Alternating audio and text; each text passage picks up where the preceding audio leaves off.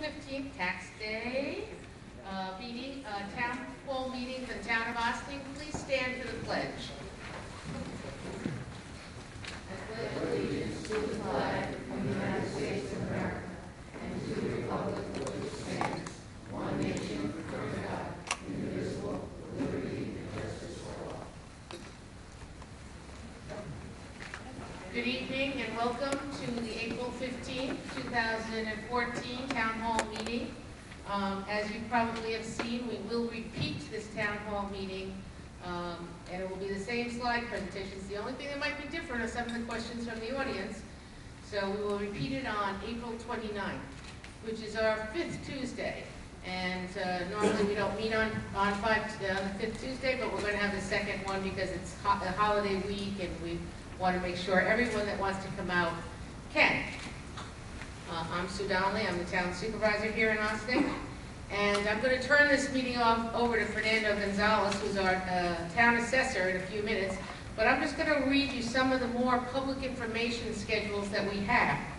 We are willing to meet with any group, organization, homeowners association, condos, anyone that wants to meet as a group, as this now or as the whole process continues. Um, we put out yesterday that there is a new web page that's available uh, from uh, Tyler Technologies, and it's about the municipal group of, uh, of different uh, communities. It's Yonkers, Greenburgh, and Ossining right now. And by going into this, into this group, we saw a nice reduction in prices per parcel. So some of the meetings that are coming up would be uh, tonight, which is April 15th. On April 23rd, we will be meeting at 12:30 in the afternoon with the Ossining Rotary Club, and that's at the Atria. On April 29th, we will again meet here. Um, We will have another town hall meeting, and uh, it will be right here in the library as usual. We meet here on Tuesdays. It's the same night as our other meeting nights. On May 7th, at 7:30, we will be meeting with the Mystic Point Homeowners Association, and that will be, of course, at Mystic Point. At at May 13th, we will be meeting with the Ossining Board of Education at Roosevelt School, that's where they have their meetings. On June 16th, at 8 o'clock, we will be meeting with the Briarcliff uh, Board of Education at the middle school. And on June 27th, at 12 noon, we'll be meeting with the Briarcliff Rotary at uh, the Briars Restaurant on North State Road. We also have one uh, to be announced, Uh, we haven't, they haven't finalized the date yet, and that would be the Ossining Chamber of Commerce. It's supposed to be scheduled in June. Um, So by that point, when you see this presentation tonight, we will have already started the process. But I'm going to let them talk about it because these are the experts up here. And we'll start off by, boy, young lady, oh, because our young man is up there. We just want- didn't her to be sitting alone. But we're going to start with uh, Fernando Gonzalez, the the Town of Ossining assessor. He is the town-wide assessor, so therefore he's the assessor for 91% of Briarcliff, the village of Ossining, and the unincorporated area of Ossining. So Fernando, it's yours. Thank you. Good evening, and uh, thank you for coming out for this uh, important presentation. As you know, we've been talking reassessment quite a while. Uh, So, uh, You needless to hold that say, very close to your mouth. needless to say that I've been very eager to uh, get started, and uh, that's why we're here tonight. But uh, let me first present to you the, uh, the, uh, the individuals who are representing the the companies and or the uh, state agencies who are taking part in, in this process. First is Melissa Bayer from Tyler Technologies. She's the project manager. Uh, we also have from Tyler Technology, Ryan Shaw. Uh, We have uh, Ron Hagerman from Michael Hagerman and Associates, who are the project monitors, and also Tom Donato. Uh, And last but not least, uh, we have John Wallen, Regional Director of the New York State Office of Real Property Taxes. Gentlemen here. And uh, without any further ado, I'll turn it over to Melissa, uh, who will do the presentation, and then we will take uh, questions. Thank you. I'm going to ask you to hold the mic unfortunately quite close to your mouth because, because uh, that's how they hear and that's how the camera hears. Good evening, everyone. My name is Melissa Bear. I'm the project supervisor for the consortium reassessment. And if you don't mind, I'm going to go stand up at the podium because I think otherwise my head will keep turning so I can see where we are in the presentation.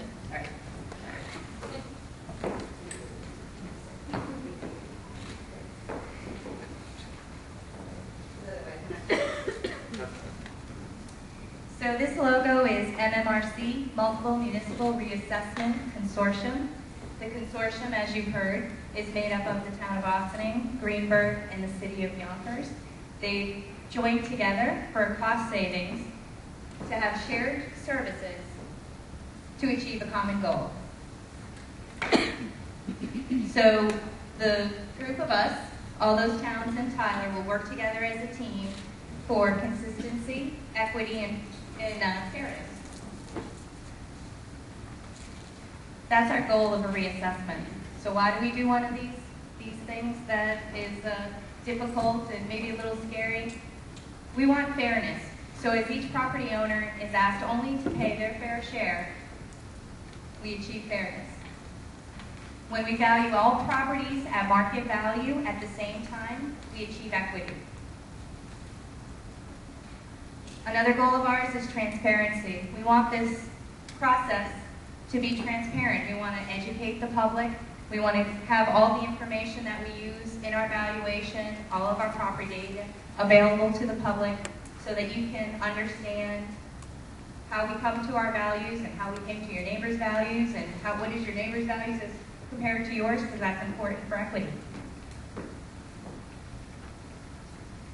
So what are some of those fears of, of why we want to do a reassessment? We're going to pay more taxes. So a reassessment is revenue neutral. What that means is that no more taxes are, are generated from a reassessment. We merely redistribute what each person pays. So unlike what you may have heard, uh, if the budget stays exactly the same, then the amount of taxes that the town collects is exactly the same. Now, most of us have paid taxes long enough to know that budgets rarely stay the same. But if those two things stay the same, no more taxes would be generated. But each individual person may pay a different amount. So one of the questions that I often get is, what can we expect? There's a rule of thumb in our industry, a third, a third, and a third. A third of the people will see their taxes go down, a third will stay the same, and a third will go up. We recently completed a reassessment in the town of Scarsdale. Just a couple weeks ago, we issued the uh, new notices. What we found there were 25% went up, 38% went down, and the remainder stayed the same. So that wasn't really following the third, a third, a third, because it really depends how long since the last reassessment, what kind of shifts have happened in the market over 20, 30, 50 years. So the one-third, one-third is only a rule of thumb. It's going to be different, but it's something to, to get started. We won't know until the very end of the project what those uh, shifts are going to be. So the government will spend more. That's kind of the same as the first one. So once again, it's revenue neutral. No more taxes are generated just from a reassessment. Discover unknown improvements. This probably depends on whether or not it's you or your neighbor who had that unknown improvement, but that is something that we certainly hope to achieve with a reassessment. Uh, some houses haven't been inspected in decades, so if people did some things without building permits or perhaps there were improvements that didn't require building permits but increased the value of the property, we chances are we're going to find those. Embarrassed by a messy house. Chances are our houses are just as messy, if not messier than yours. Uh, we, we look at dozens, hundreds of properties over uh, the course of this project, and uh, one messy house isn't going to stick in our memory for sure. Uh, but all our data collectors are there to do is collect information, count the rooms, what's your heating type, that type of thing. So we don't take notes about it. Uh, being away when inspections occur.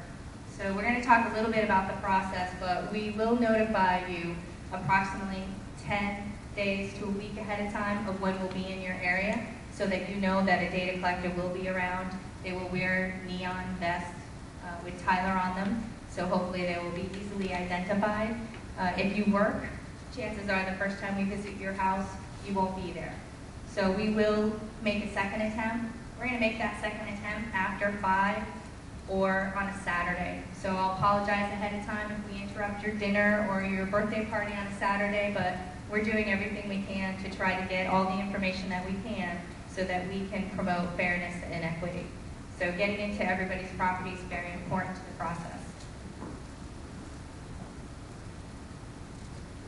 So here are the phases of the reassessment. We start off with the data collection. So that's where we are right now. Uh, we haven't started yet. We're going to start in couple of weeks. We're going to be data collecting properties for approximately one year. So a data collector will come out. First, you'll get your letter. It'll have some information, some frequently asked questions. It'll give you some uh, contact information. So if you have any concerns or you have some questions ahead of time, feel free to give us a call. Check out our website. All that information will be available on that notice. And that's your notification that we're going to be around. If you want to make an appointment with us, give us a call. We'll be happy to accommodate anybody who wants to make an appointment for a specific time and date for us to do this inspection. If you are not home, someone will measure your, your, all of the structures, so your house, your outbuildings. Uh, so if one of your neighbors says there's somebody with a neon vest measuring your house, it's probably one of our data collectors. We're going to have pictures of all the people that are going to be working for Tyler. Their pictures, their car information will be available on the website. Everyone who works for Tyler will have a recent, as in the last week, background check. So we fully vet all of our employees to make sure that we have upstanding citizens coming out to do this work. I'm going to go into detail in each of these, so I don't want to go into too much. The next phase is the data analysis. So we're taking a look at sales, income information for commercial properties. We're going to work on that from May 2014. So we start right, right out of the gate. We want to start working on these values, see what the market's telling us. That goes on to July of 2015. Then we have the valuation review and informal meetings phase. That's when we actually send an appraiser out with your property card and the comparables that have been selected for your property, and they're out there to make sure that the value is accurate, reasonable, and equitable with your neighbors. Once that's done, we'll notify you of your assessment, and you'll have the opportunity to meet with an appraiser from Tyler to explain the process and specifically your property, and that will happen um, in September 2015 for the review. We'll send notices about March 1st, 2016, and then we'll have that informal process in the month of March and April. So data collection. Collection is a pretty big deal. What we do is called mass appraisal, and we build models to, to estimate the fair market value, to achieve the value for your property. It's different from what you may be familiar with if you've ever had an appraisal done for mortgage purposes or to sell your house, where a, a fee appraiser will come out and select properties that are comparable to yours, and they're only concerned with your property alone. So they're not looking to make sure that the value that they're putting on your neighbor's property is equitable or fair. Um, so what we do is we value every single property, properties that don't sell, churches, schools, that type of thing. We have to develop models that are used. And what this does is gives us consistency. So every property is, is uses the same rates and methods so that we can make sure that if this house is identical to this house, it's going to have the same value generated. So the data collection is what's going to drive that, those models. It's all built on data.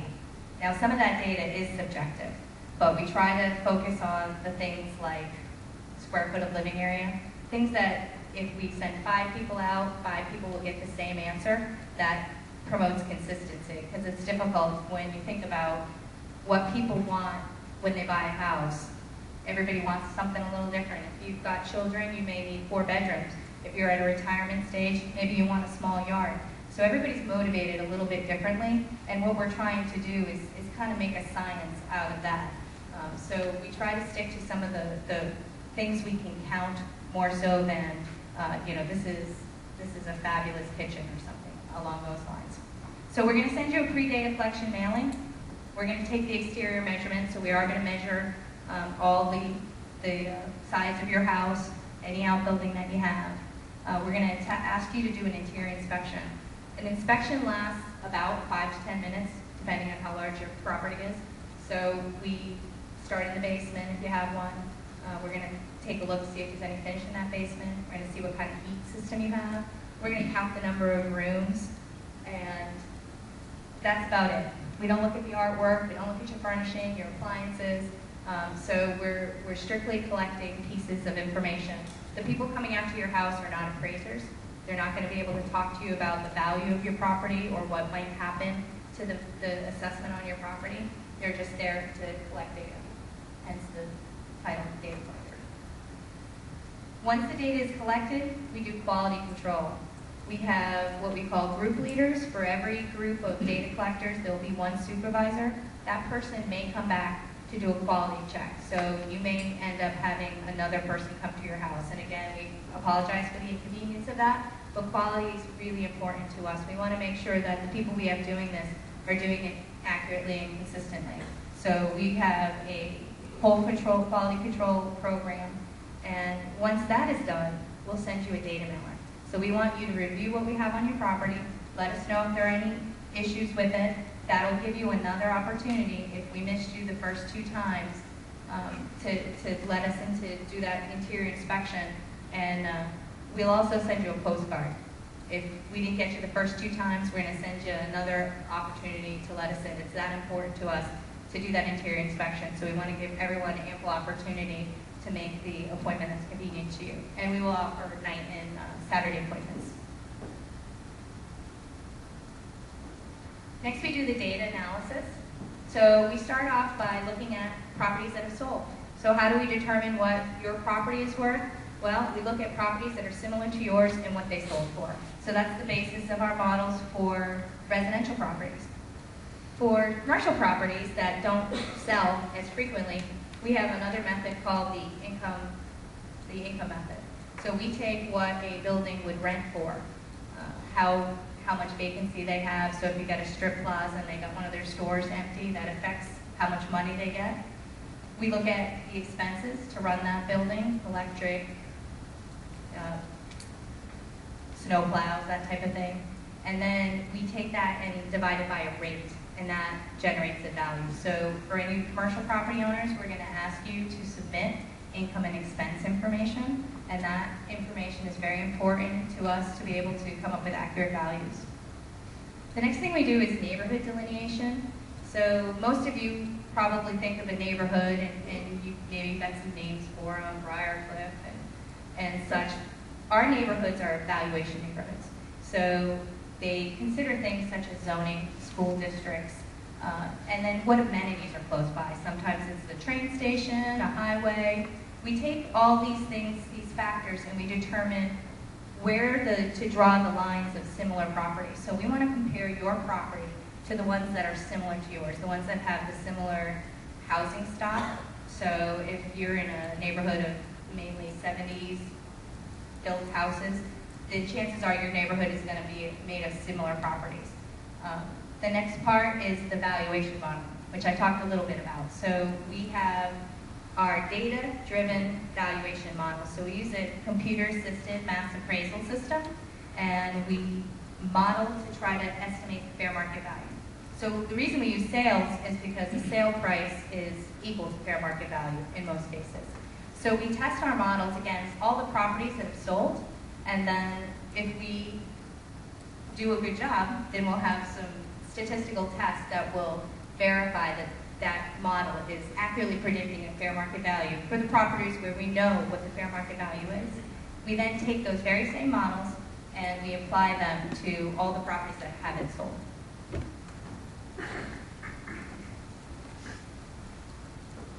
So here's some statistics. I don't get into too heavy in statistics. I will do a meeting at some point where I will bore you a little bit with these statistics.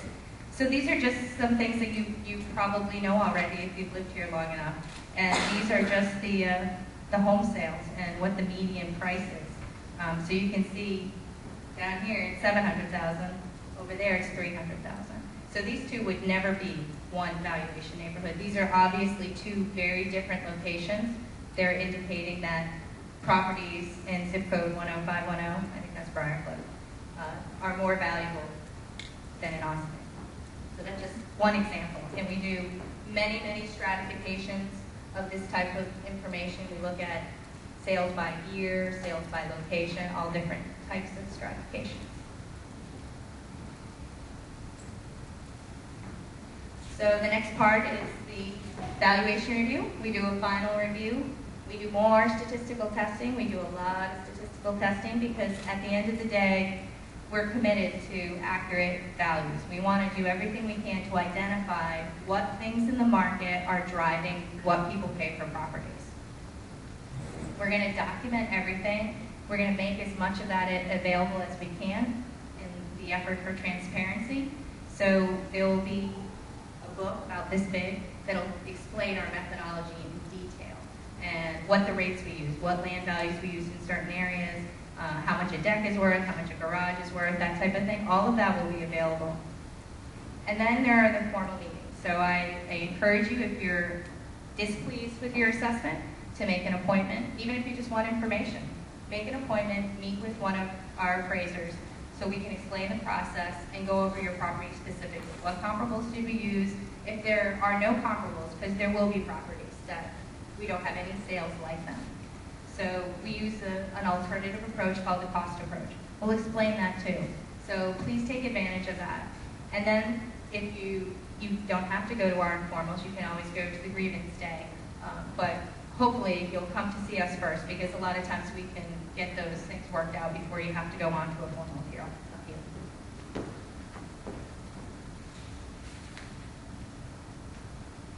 So a quality-driven process equals quality results. That's, that's what we shoot for. That's what our goal is.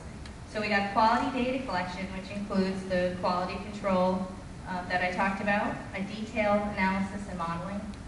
We'll get accurate valuation review and hearings, and that will give us hopefully fairness, equity, and transparency.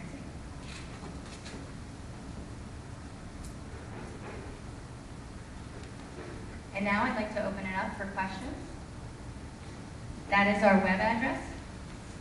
Please check it out. We've spent a lot of time working on it, or it's going to be a, a great resource for all of you. We'll have press releases. We'll have uh, street listings, so you'll know where we are at any given time, where our data collectors are located. Uh, presentations such as this one will be available. Questions? Yes. When you had the slide about the 10562. I'm sorry, again? Oh, sorry. When you had the slide about the 10562 home sale prices versus the 10510, you're going to take into consideration that some people who have the 10510 zip code don't really live there, right? Yeah, zip code isn't something that we actually uh, take into consideration. Um, It's where your mail comes, but other than that, we take a look at school districts, we take a look at, you know, the the neighborhoods have really nothing to do with zip codes and mailing addresses and that type of thing. So um, we're going to look at sales that are most similar to yours, that are closest to your location. Uh, That's our ideal. Anyone else? Yes.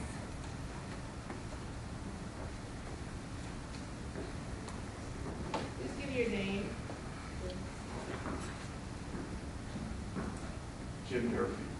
Can you comment on how this applies to condominiums, such things as what applies at the condominium level as opposed to the unit level, and what, how it's different from an individual home uh, unit?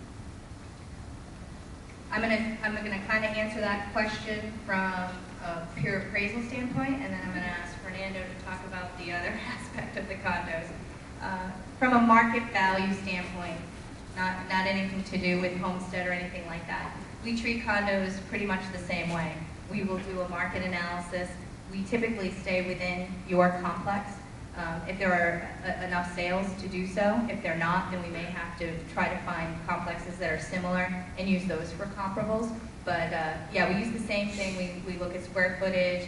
A lot of times we'll look at, we, we try to determine what's driving the value. Why are people paying so much for this one as opposed to this one? Some of those reasons are interior unit versus exterior unit, what floor you're on, depending on the view you have. So while the, the individual data elements that we use for the valuation may differ somewhat, the process itself is similar. So what, what you're not gonna have land in a condo. That's probably the biggest thing, so, So um, there's but no- there's still a location.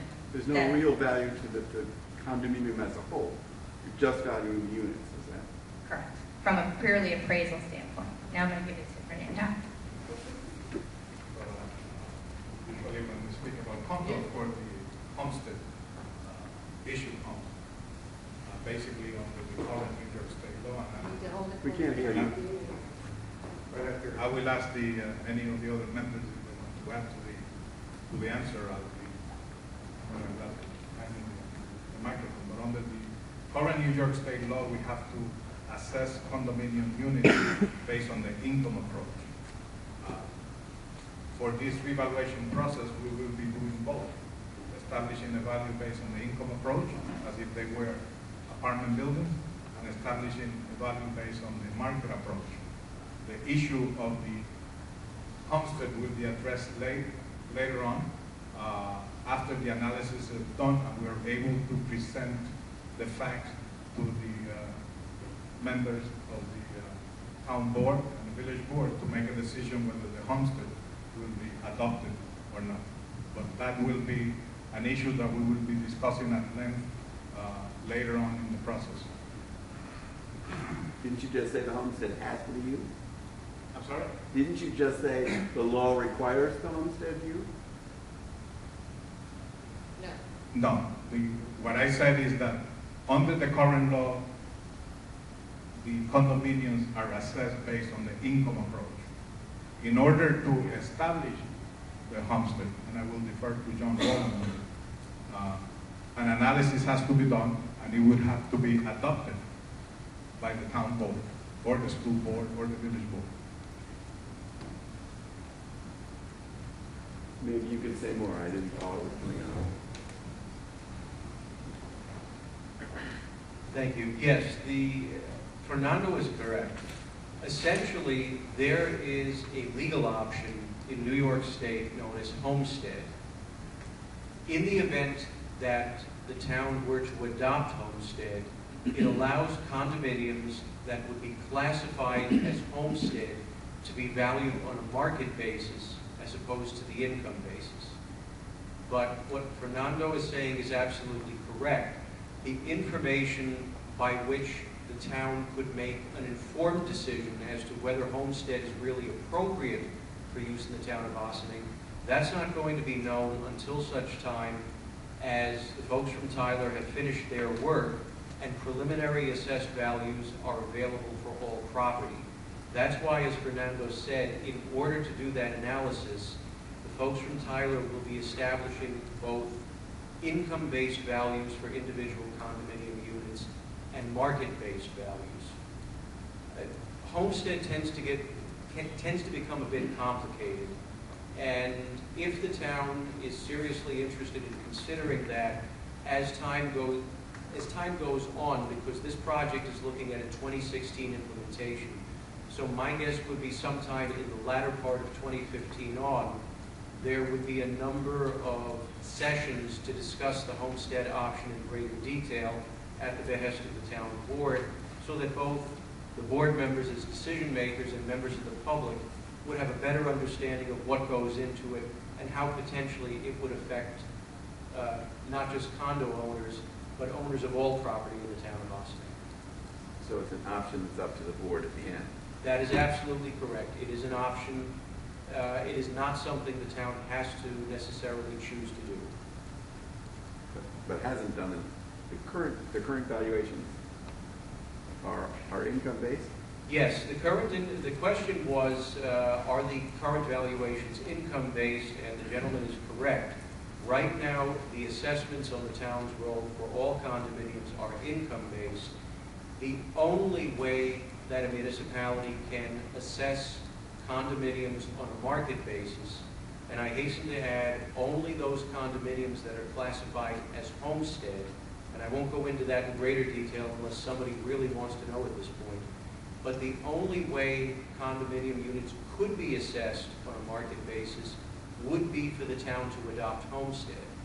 The reason that has not been considered, or couldn't even have been considered up to this point, is that in order to adopt homestead, a municipality must successfully conduct and implement a reassessment. So this is really the first opportunity the town will have to consider this. And again, a decision would be made in advance of implementation for the town's 2016 project.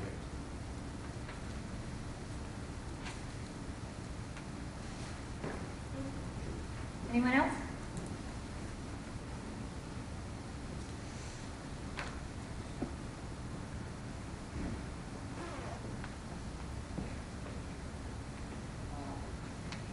Leone, another uh, condo question.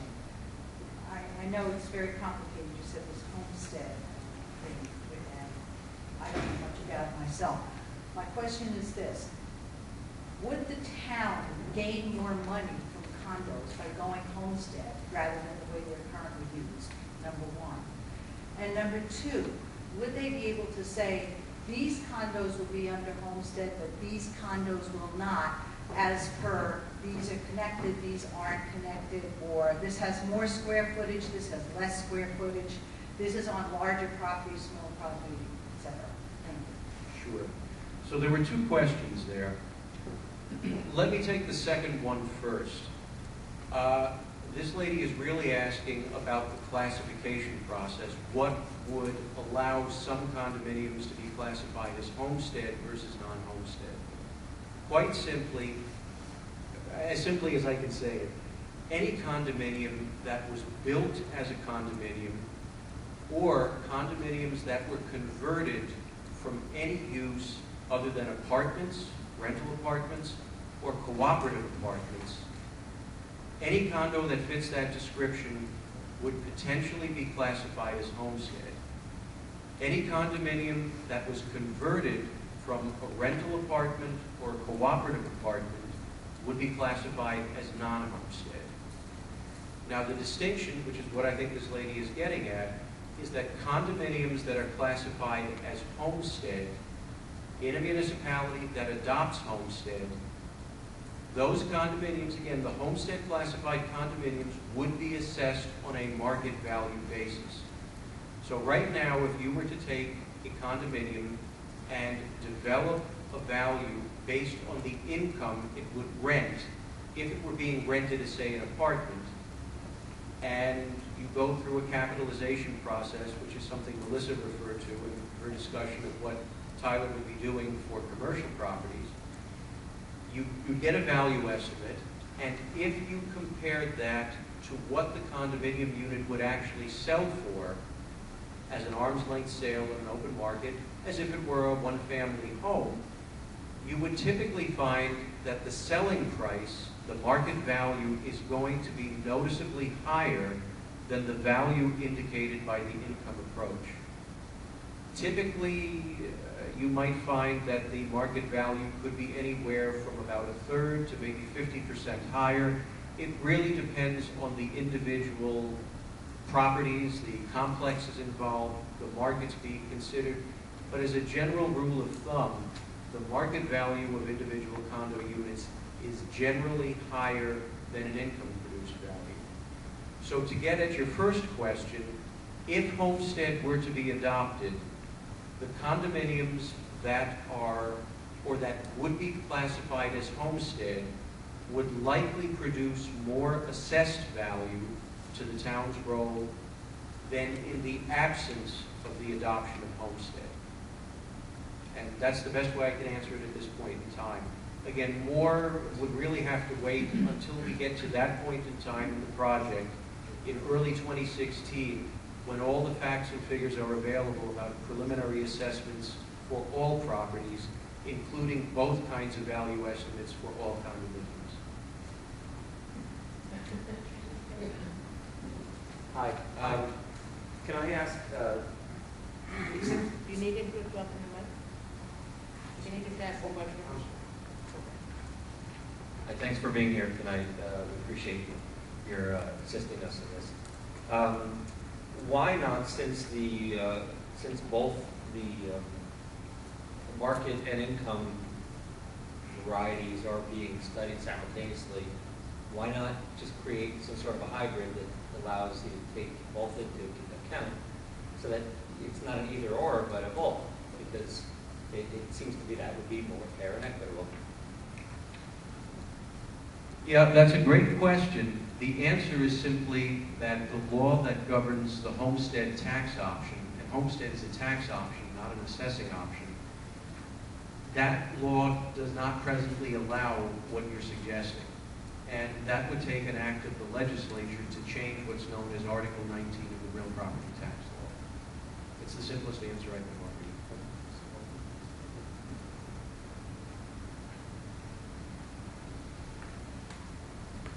Anyone else?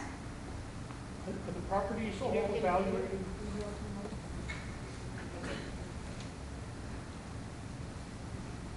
The properties all evaluated as of some date, I mean, some sort of a logical equivalent to the taxable status date? Yes, And if so, what's that date?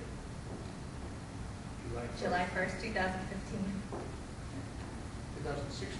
Fifteen. Fifteen. Yeah, that's what we call our data value. So that's what we'll, uh, we'll use as our moment in time. When we appraise value, we're trying to capture just a moment in time. Uh, The market is always changing, and so that's our date. And we'll look at properties that have sold for two years prior to that date. Another question? Sure. So uh, whenever you do appraisal, you have to have a data value. You have to know what the basis of your market information is going to be. So what period of time are you going to analyze for sales data? Now, that doesn't mean that we'll ignore any sale that happens after July 1st, 2015, because honestly, those are the sales that test our models the best. So how good of a job did we do when we developed our models? The ones that we don't know about yet. So those are the ones that are going to really test our models. So I don't mean to say that we'll ignore them, but the basis of our information, how we're going to build our models, is based on July 1st, 2015. So if the market continues to change after that date, we're not going to reflect it. But we are going to use two years in arrears of sales information. So we're kind of looking backwards and not forward. So some, one of the questions I got the other night was, well, this particular neighborhood's in a bubble. Well, we don't really think of it that way. We look at properties two years. If your property's in a neighborhood that's selling very high, then your assessment's going to reflect that. If your neighborhood is, in, is not selling very well, then your assessment's going to reflect that. So we don't look forward. We don't try to predict what the market's going to do. Uh, we leave that to the real estate agents. So that snapshot in time, July 1st, 2015, is what we're going to base it on. Another unrelated question. Okay. Um, is- What does experience show about the relation, what happens to uh, appeals to the Board of Assessment review after following a evaluation? Do do the appeals go down? Do they stay down for a year, five years, 10 years? Generally, what happens is people are motivated by the success of an appeal. So if you have a lot of appeals that are being successful, then it's going to encourage other people to appeal. And the only way to really stop them is to, to have a value that's defensible or have a set of values that are defensible. And that's what we propose to do. So what you may see right after the reassessment, uh, I can tell you in Scarsdale, commercial properties were, were affected um, more so than the residential. They went up a lot more than the residential base. Now, that's only 70 properties in Scar- Scarsdale. So, um, but depending on how they're assessed now, if they're under assessed now, they may see a bigger jump, and that may generate some appeals. But our hope is that, and it, this takes takes some cooperation with the, the people making those decisions, but that we'll have the information and the data. So these are current assessments. These aren't assessments based 50 years ago. This is based on data that we will be able to supply. We're going to have, you know, this is what a property like this rents for. This is what a property like this sells for. So what we're hoping is that we will be able to make the argument that our assessments are correct and fair, and that those appeals will stop being successful, and then people are not going to invest the money into getting a reduction in their taxes. That's really the only way to stop the appeals. But I, in our experience, we still see some, some appeals right after the assessment, and then they start to drop off. And the more frequently, if you wait another 50 years, you're probably going to end up in that same boat. But, you, you know, so if you can keep up your assessments and keep that data current, uh, you know, over time, those appeals are going to go down considerably. I live in Connecticut. I, most of my experience is in Connecticut. We do reassessments every five years in Connecticut. And our uh, appeal rates, um, we're in a little bit of a down market there, so we get about one percent. If we get more than five percent, that's a tremendous uh, output. So we're, you know, we're, we've been doing this a long time. We don't have a lot of appeals. Uh, we generally see the same, same people coming to court, Stop and Shop, Target, not to mention any names. Um, so, uh, so the ones that have the money to appeal. But overall, like, you know, in Massachusetts, it's the same thing. We do them annually, and the appeals go down because they're just not successful. It's not worth it for them to, to have an attorney or, or get an appraisal to appeal it. Thank you. I just wanted to add to that, that we will have values that would be more defensible, we would have the data, we have a roll that will allow us to rigorously defend the assessment. And in the event, usually the first year, you end up with a slightly higher rate uh, of uh, assessment grievances. Uh, But the ultimate result is that the payouts will be less because the differences will be that much closer. And of course, as time goes on and we continue to maintain the road at full value, the, the percentage of appeals will diminish. Any other questions?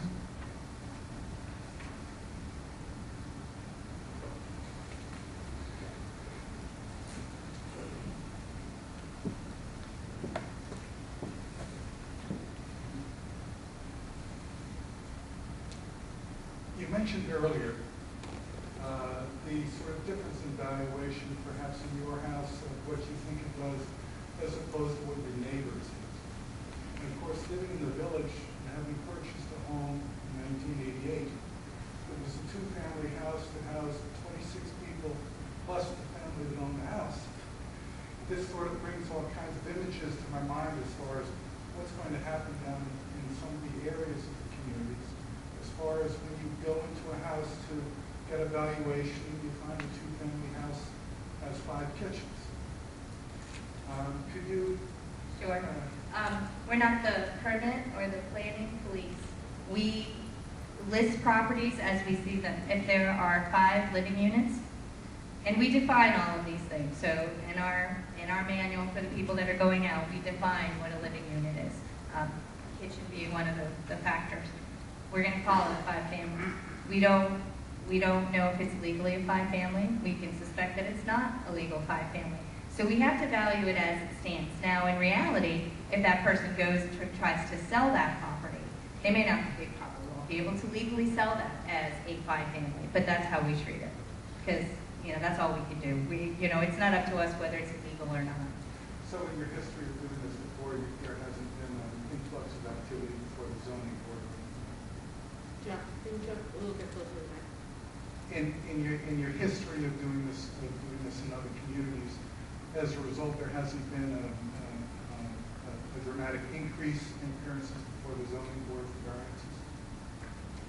I've never tracked it, to be honest. Okay. Um, you know, my, my job is to, to appraise properties and, and it really depends on how much cooperation and, and how much sharing of information there is. Um, you know, my import, for me, I, I want to be able to get into every, every property and, and I'm not going to go run down to the building department and tattle on anybody because that's counterproductive to, to what I want. Um, but our records are certainly open to the public and including the official or planning official if they want to see. So it's, it's a tough one. It is, because, you know, we just don't get into the legality. I mean, we, as you can imagine, we, my company have been in, you know, hundreds of thousands of houses. You can just imagine the things that we have seen. I just want to add to that question that, uh, of course, that is, that is an issue that all reassessment, all municipalities are undergoing a reassessment find that uh, there are not only illegal apartments, but also bathrooms that were done uh, without a permit, decks that were built without a permit. Uh, All of our information is shared with all the other departments in order to efficiently run government. However, this issue that we're talking about is already being addressed at some level through the sales. Right now, whenever someone is going to list a house, part of the due diligence that is required of the realtor, the title company, and the, many times the appraiser, is to reconcile the differences between what is listed as the inventory of the house in MLS, or what it, what exists and what is there in- on the permit. So our uh, building departments are already dealing with those issues.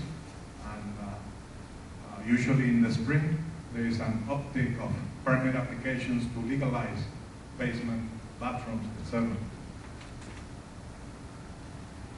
Any other questions?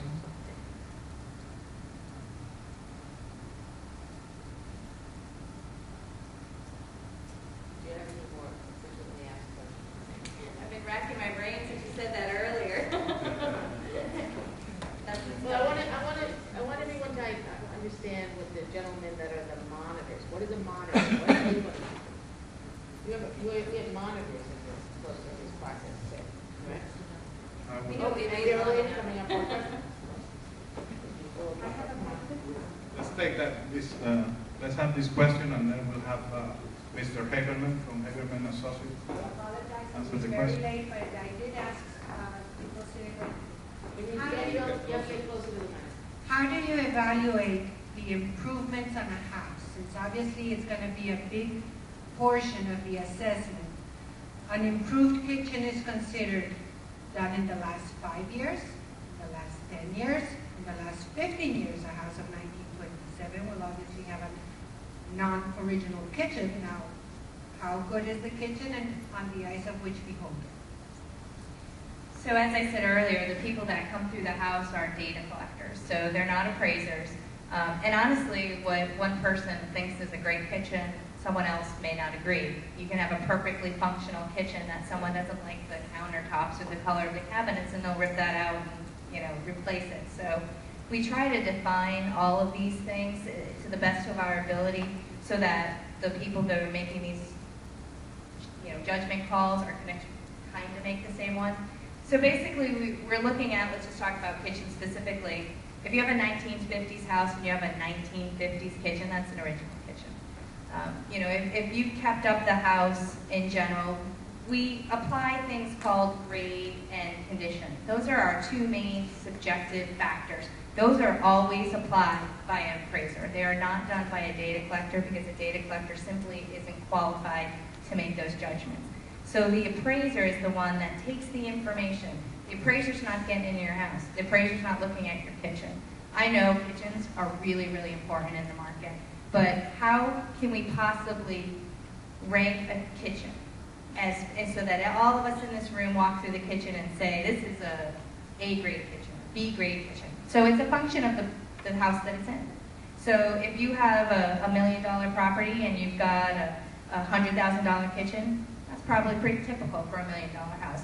If you've got a hundred thousand dollar kitchen and a nineteen fifties thousand square foot ranch, I think everybody's gonna say, wow, that's a great kitchen for that house. So that's kind of how we judge it.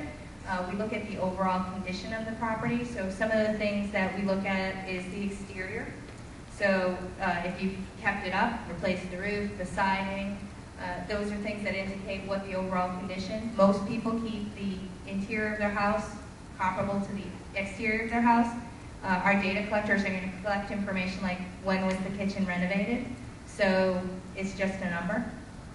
If you say it was 1990, that's going to give the appraiser the information they need to make that subjective decision. Um, so it, it's really based on data.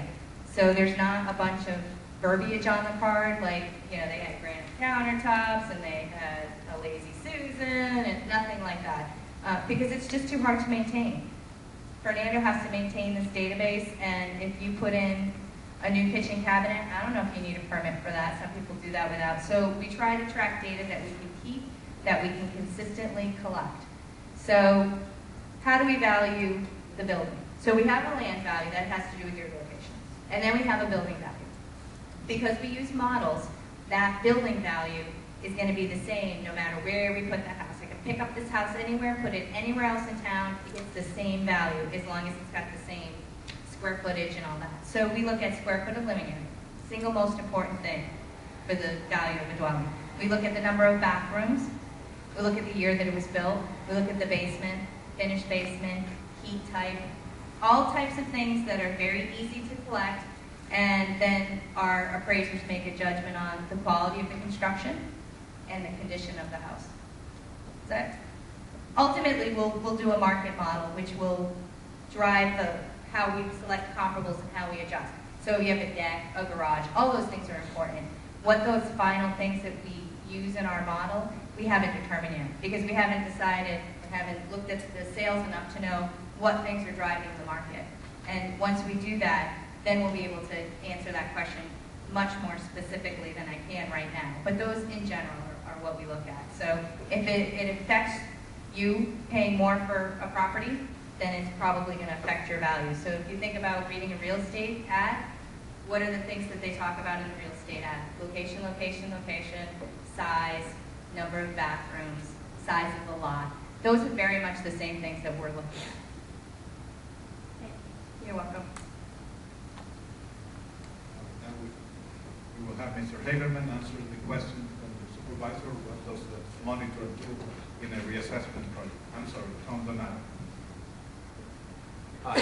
As a monitor, our prime responsibility is to be the eyes and ears for the town, okay?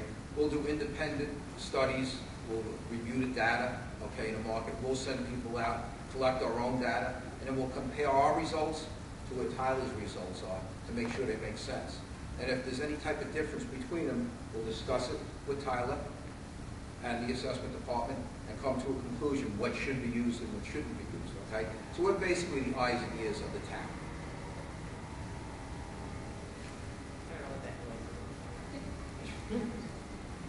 Any other questions?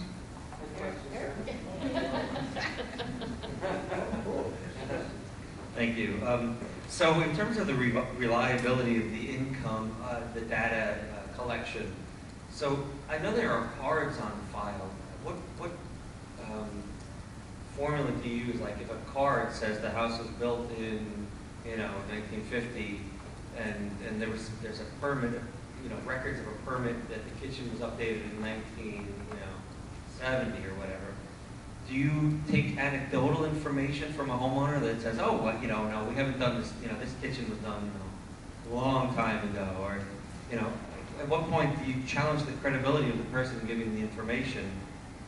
How do you, how do you find out when a kitchen was redone unless you're getting it from the court or from, a- um, uh, from a uh, homeowner? And that's just one example, you know, across the board, you know, do you take other negative information? Like if somebody says, yes, my house is a great house, but you have no idea, three o'clock in the morning, you know, the, the, you know, the, the garbage operation next door really goes into full, you know, it's noisy and it's smelly and, you know, at what point do you take anecdotal information and actually build that into the uh, data collection? There's a couple things in there. Um, we would never challenge a homeowner. we'd never say, no, you did your kitchen last year. No, we'd never do that. Um, we take all the information that's available. So if there's a permit, that's a pretty good piece of information. It comes from the building department. We know it's, it, it's verifiable. That's great. Because I don't remember. I've been working on my house for 10 years. I can't remember when I did my kitchen and when I did my garage, you know. So they may say we've done it in the last 10 years and, you know, we'll put it down. We have to estimate sometimes. We're not going to get into every house. So anything that's verifiable, we take that. And uh, as far as anecdotal, so uh, residential valuation can be an emotional thing. So you have a neighbor who leaves garbage out. It's that person is convinced that's going to affect the value of the property. I can tell you from doing this job a long time, it, it probably doesn't. You can put a fence up and you know that that's all that's going to happen because unless the person buying your property is aware of that situation, it's probably not going to affect what they pay. So um, it's the appraiser's job, not the data collector's job. So we're going to take as many notes. So if somebody has something to tell us, you want to tell us that you know you've got a crack in your foundation, please tell us. We'll write it down. We'll have all those notes available to the appraiser who ultimately will make a judgment of whether we made some kind of adjustment to your property. If it's uh, an external type of thing, you got a gas station in your backyard, we're going to be able to see that. But if it's on the inside of the house and you feel it's really important, please share it with us. It may end up that it doesn't impact the value the way you think it does, but we're going to do our best to analyze all of those factors. Because what it comes down to is the only way to determine how something affects the value of a property is to have a sale of a property that suffers from that same type of thing. And that could be, and, and it could be a positive factor or a negative factor. If you're overlooking a golf course as opposed to a landfill, we're gonna try to analyze the sales, if we have them. And that's gonna give us our basis of whether something needs an adjustment. One of the things we get all the time, power lines. People are very emotional about power lines. So we're gonna identify all the properties that are affected by power lines, and we're gonna look at the sales. And whatever those sales tell us is the way we're gonna go. So that's how we determine. Now, there may be sales. If you've got a gas station in your backyard, I can make a reasonable assumption that's gonna negatively affect the value of your house, whether I have a sale that says that or not. But I'm gonna have to make some kind of appraisal judgment from my own experience, from our appraiser's experience. What have we seen in other areas? Ten percent, twenty percent? And sometimes we have to base it on that if we don't have any sales of similar properties. So, um, did I get all of it?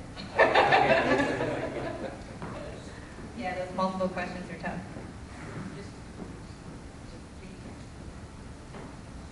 So this might be a simplified logistical question. So based on these questions.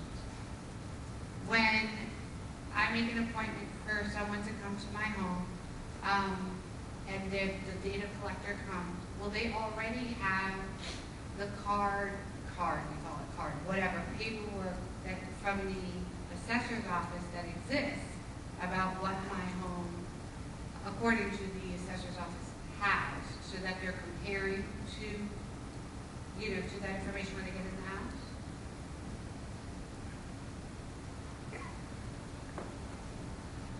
Yes. We never want to start from scratch. We, we've actually had clients who have great data and want us to start from scratch. I never understand it.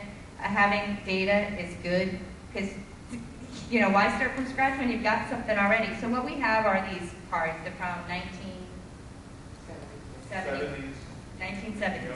So they're handwritten cards, we've, they've been scanned. The data collector will have that, and they're gonna have all the information that is existing in your database already. So we're taking all that information and we're putting all the pieces, the picture that we have, we're putting all that. So as much information as we have right now is what we're sending people out into the field with. So they will have that information, and we'll just, you know, adjust it as, as necessary. So hopefully, um, you know, whoever did this way back when was really good at it, and we won't have to make a lot of changes. But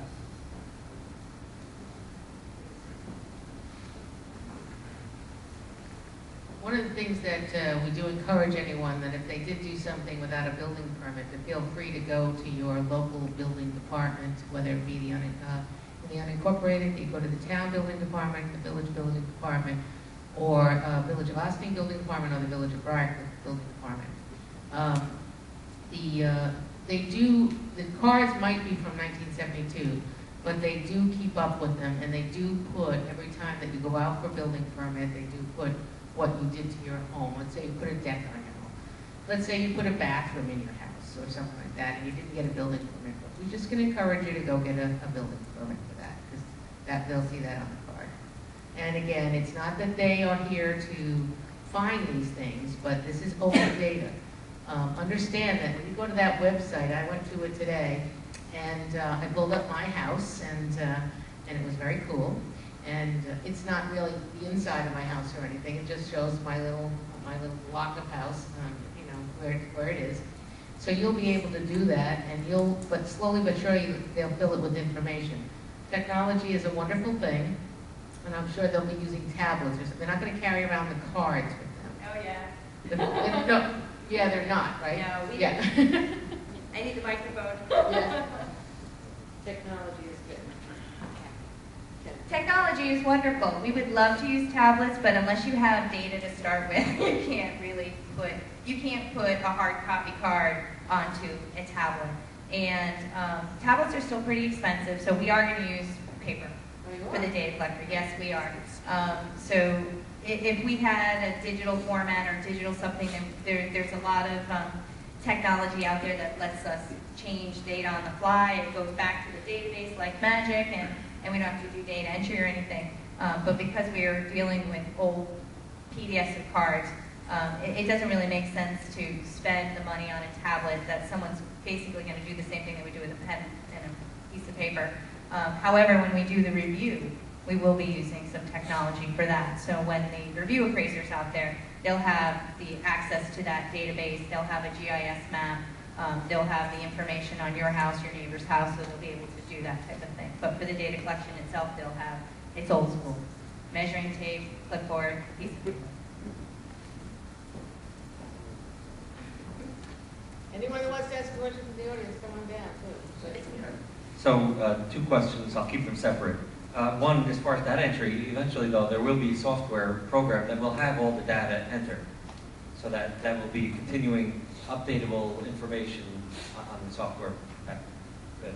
Um, And then, I, I think I know the answer to this already, but as far as old assessments go, this is a clean slate, right? You don't take an old assessment and say, oh, well, it used to be assessed at 10, and s- we, we would assess it now at 15, but since it was once at 10, well, we don't want to jump five points, so we'll just go up.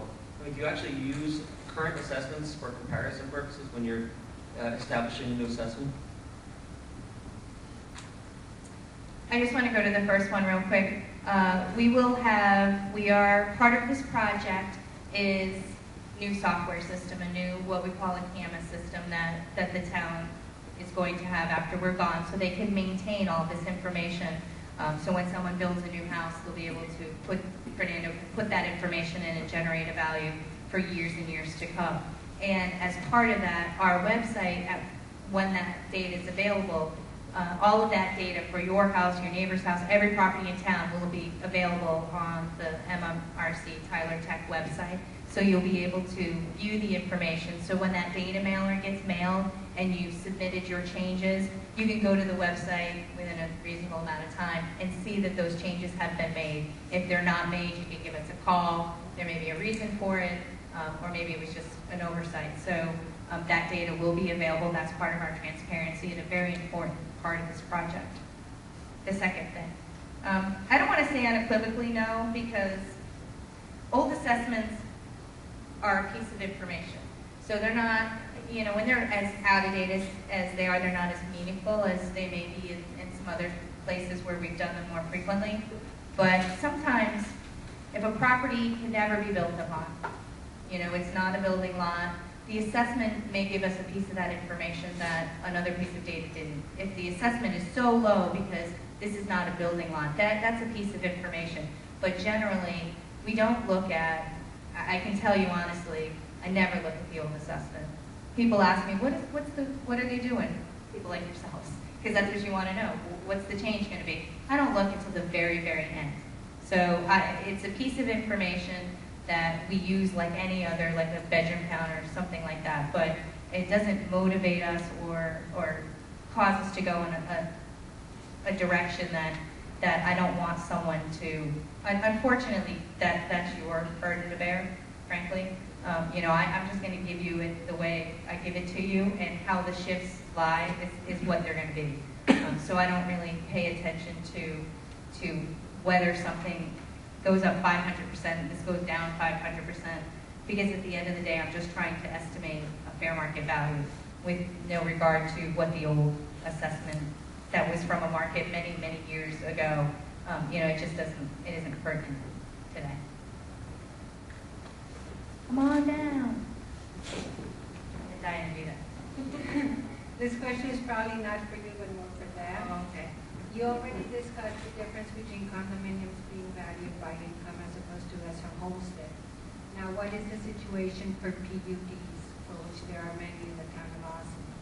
There are, they have condominium amenities, all kinds of shared services, many have private roads, many have to maintain different garbage schedule pickups and what have you, which would put them in a condominium category at the same time that they are being assessed as a single family. Um, John, do those? I mean, as far as valuation, we're, just like a condo complex, we're gonna try to value those as, as a, a type of property. So we're gonna look at comparables of just those types of PUDs and, and use our, the basis for our value, of the sales of those types of properties.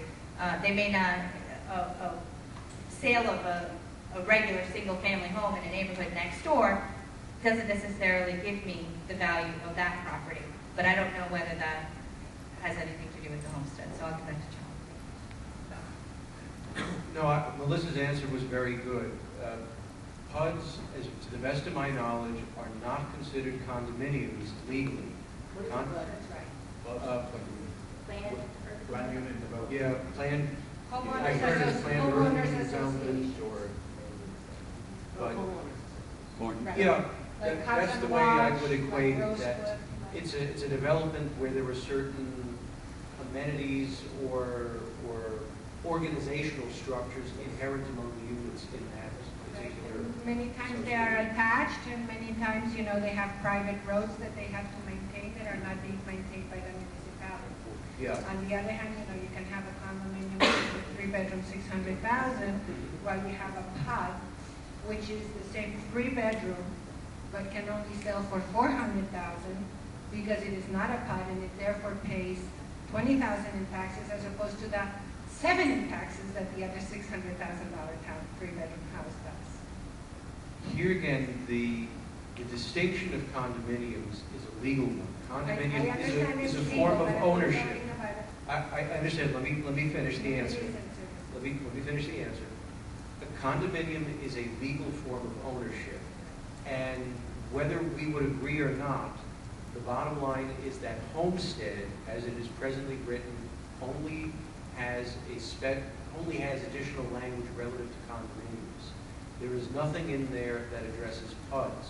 So essentially, I would say that the units that are in PUDs would be treated the way any other single-family residence would be, with the distinction that where in a PUD, there are certain circumstances, like you said, a private road has to be maintained by the owners, maybe similar to a condo association, they're responsible for garbage or the support of certain services that, say, a comparable one-family home would not, that's going to be reflective and should be reflective in the selling price of those units. That goes back to what Melissa was saying, is how you would really have to look, how Tyler, as appraisers, would be looking at what drives the value those units. And to the degree possible, you would be looking at units that sell within the same complex, so they have the similar or the same kinds of influences on value. But relative to I- homestead, I but relative to homestead, they are not considered condominiums for homestead. I understand the legal definition, what, what my question arises to is, for a single family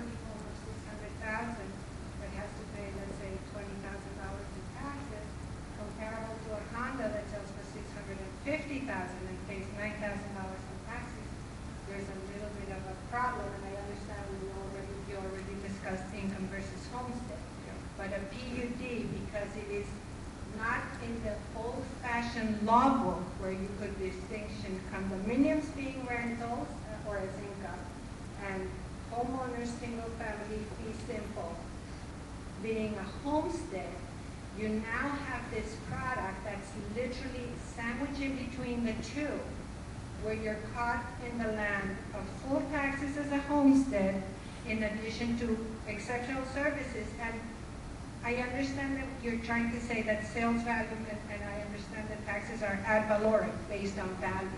But I just gave you an example where based on value just proves to you that it doesn't work. Well, yes and no, yes and no. What I think you, what I think, excuse me, what I think you may be forgetting here is that's why the town is potentially going to look at the homestead option. I am in no way, I am in no way suggesting the town will adopt it, because at this point, no one could honestly say whether that is appropriate, whether it's a good fit for the town.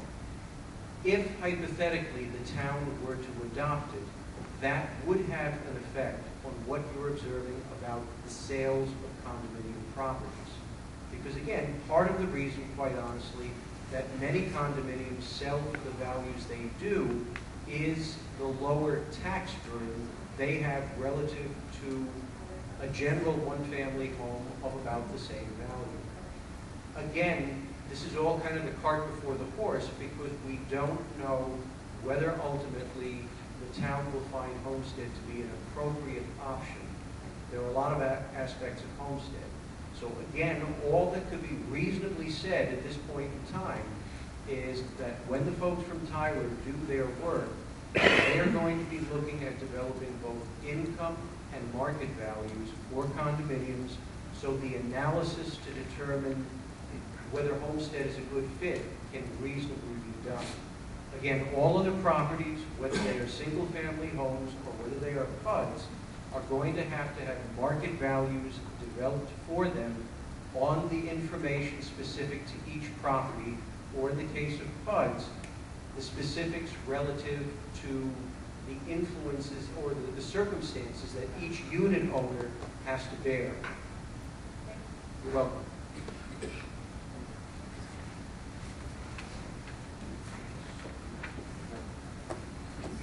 This is another condo question.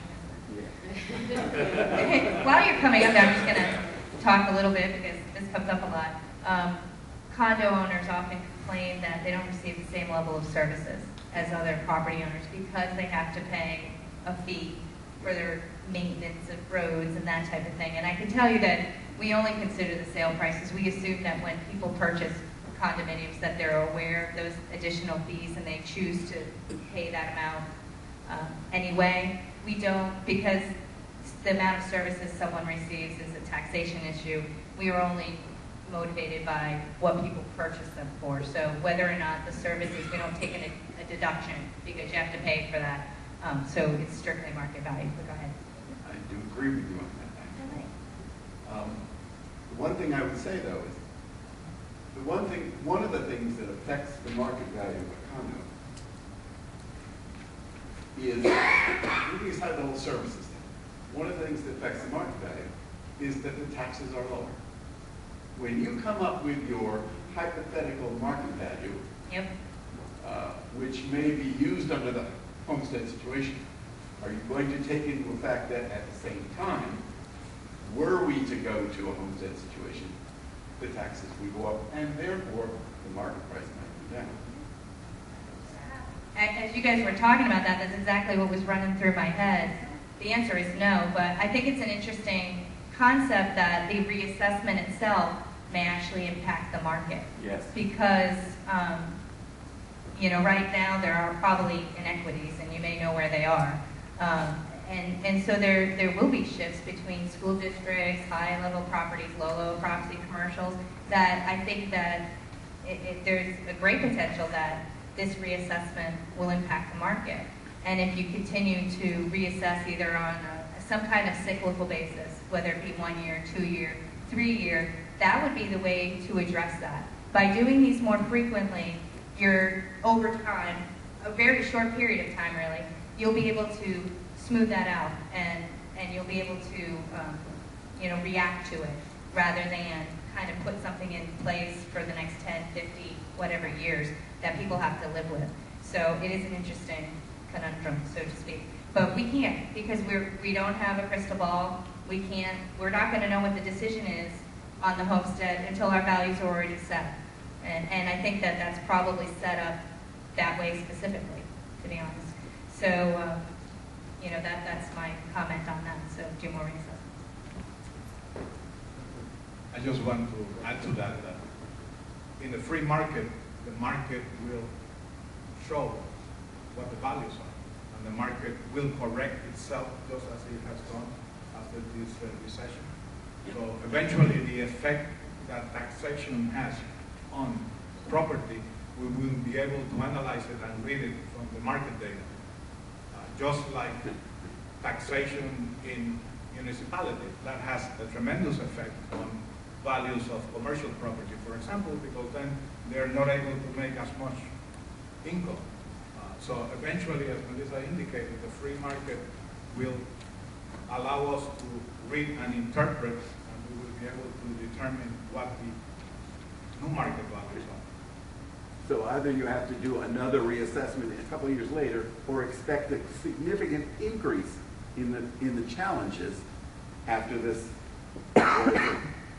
Well, the intent is to maintain the role and do adjustments every year. And then a cyclical reassessment not 40 or 50 years, but the state recommends six years uh, cycle. Four. Four, four-year cycle.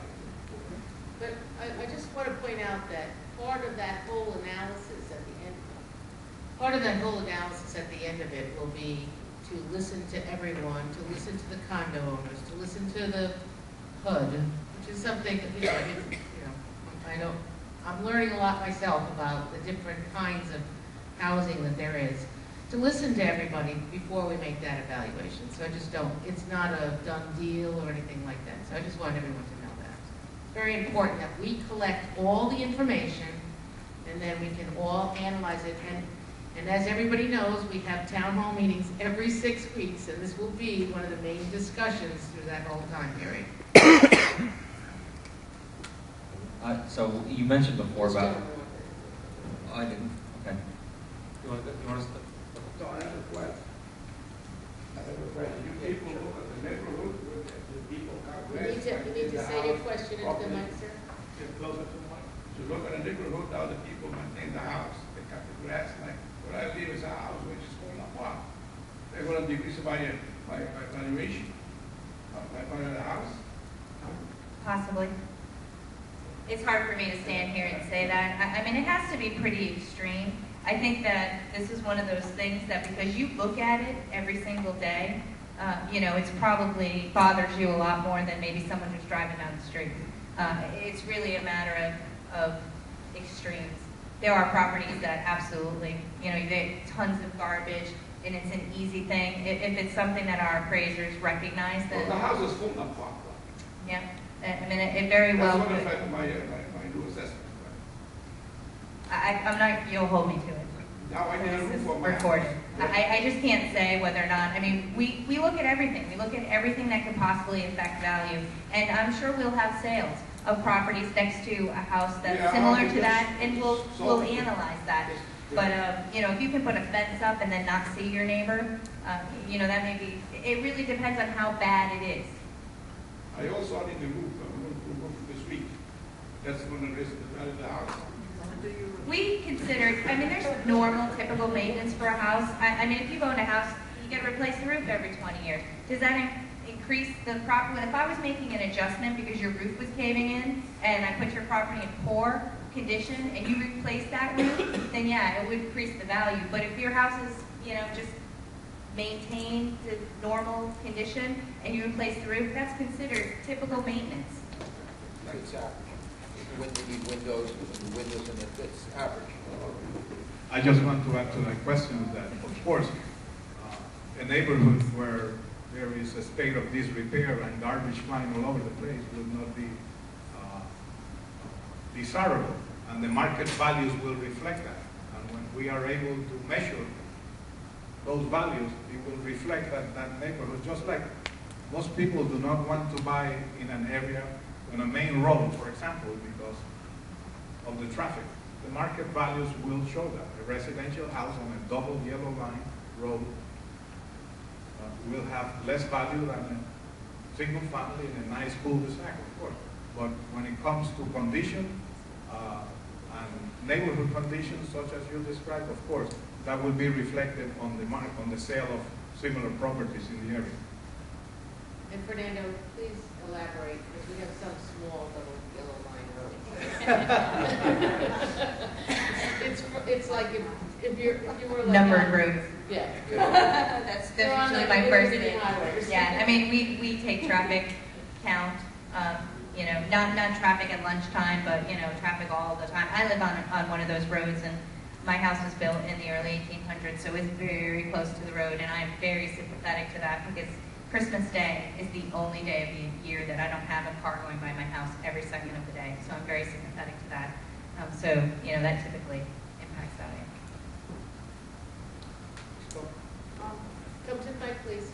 Yes. Um, Would you happen to know uh, percentage-wise, how many condos there are as compared to homes?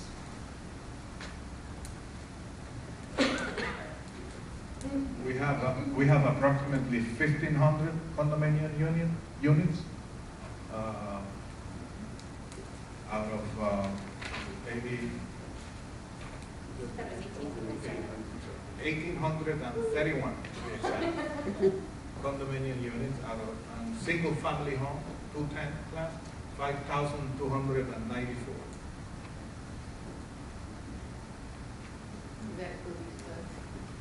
Yes, but classified as single-family homes, yes, regular. Thank you. Um, We have a property tax bill in our hands right now that's going to be due the end of April. And on that tax bill, there's a little statement that says your property has been assessed at X amount of dollars right, for, for, for marketing purposes, I guess. Can you explain how that was arrived at? Because this is on the property tax uh, information stuff that we get anytime there's a possible in- in- involvement with our taxes. Which is, which includes that equal, that infamous equalization rate. On every tax bill, the one that you received recently, which was your uh, 2014 town and county taxes and special district, you have the estimated market value, which would be a real number, like 245,000, for example. And you will also see the assessed value on top, uh, which the assessed value multiplied by the rate will give you the total taxes for the town or county, etc. Also there is the equalization rate. You take the assessed value and you divide it by the equalization rate, which uh, the, the most, the, the one utilized on your recent tax bill is 6.29, you will get the full market value. So currently, uh, all of our properties are assessed at a uniform percentage of value, and that uniform percentage is 6.29. So your assessed value represents 6.29% of your full market value of your property. So most people are already at, at, a lot of people will be at this, not most, but I think more than a third will be already at their full market value. Uh, If yes. they've kept up with their permits and they've kept up with the, Yes, more or less, about a third would be their house, the current assets, full uh, market value will be similar to what the full market value uh, that we come up with after the revaluation. Once we adopt the 16 law, which will be utilized for your 2017 taxes, you will not see the equalization rate anymore. You will only see one value, the full market value, since the roll will be at 100 percent.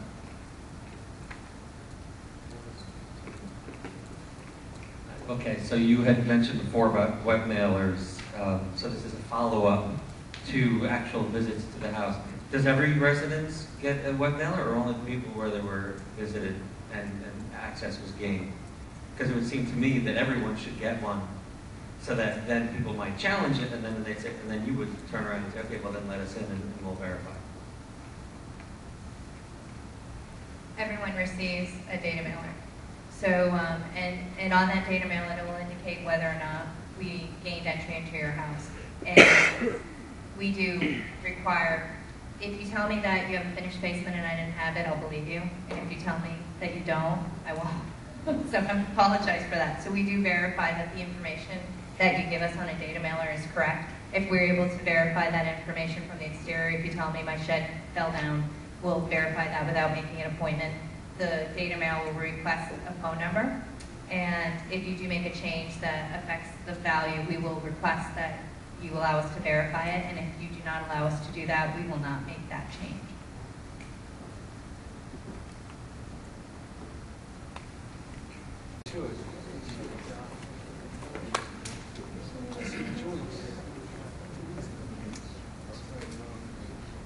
Any more questions?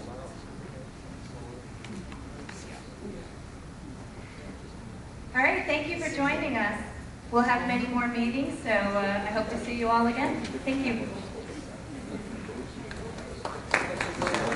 Thank you very, very much. Uh, There will be many more meetings. We can, we will come to any group, uh, any religious organization, club, anything you want us to come and talk about. You might want to wait till the process starts. Um, And so we need to adjourn uh, into a uh, special meeting few minutes. So uh, we want to thank you for coming tonight. Is there any other questions that anyone wanted to ask this evening, or are we pretty full from that information? Well, thank you, thank you very much, and uh, we look forward to uh, having, um, getting lots of information and uh, hearing from our residents. I want everyone to remember, especially to the TV, the people on TV, we will do this again on April 29th, Tuesday. I'm going to tell Melissa, Tuesday, April 29th. And, um, and we hope you can join us there because there might be different questions that are being asked. And if you have any questions and you want to send them to me and we can ask them if you can't come that evening, it's sdonnelly@townofossining.com. So if you send us your questions, we'll surely get them answered on camera that night. Okay? And uh, so we look forward to, uh, uh, I want to remind everyone that the town of Ossining is a very open office. Fernando's office is, is an open office. Uh, We do suggest you make an appointment if you want to talk to them, since they get busier and busier all the time.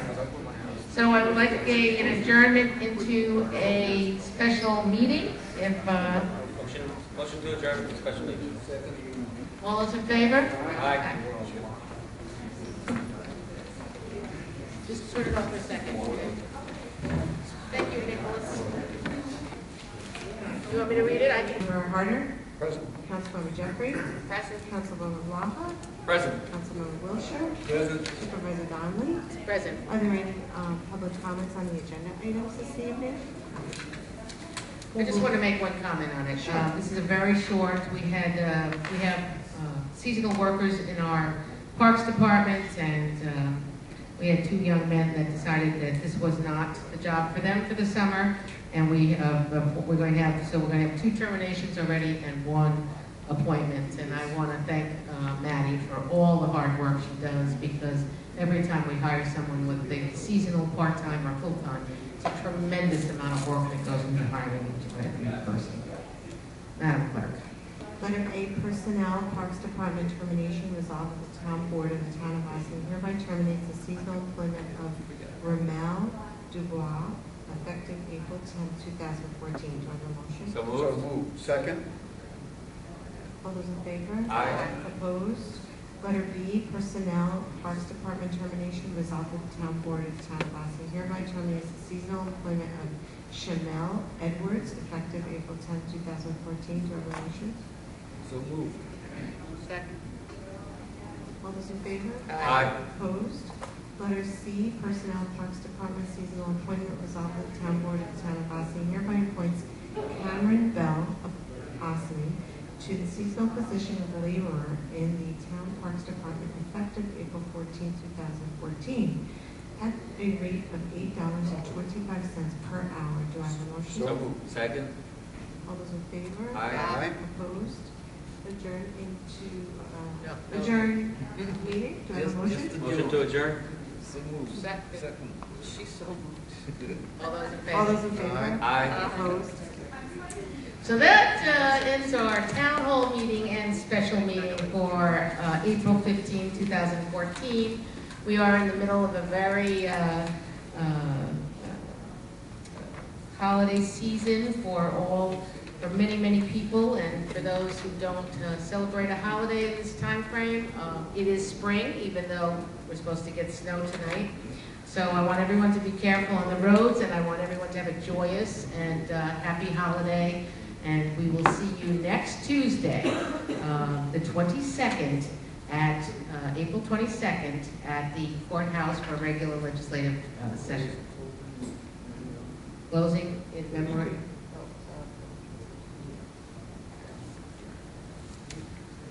And we're going to close in memory of Estelle Dashman, who uh, was a um, lifelong us person from Ossining, and uh, she left town a few years ago to live with a, her, her daughter, her son and daughter. And uh, so uh, we, just take a nine-minute silence.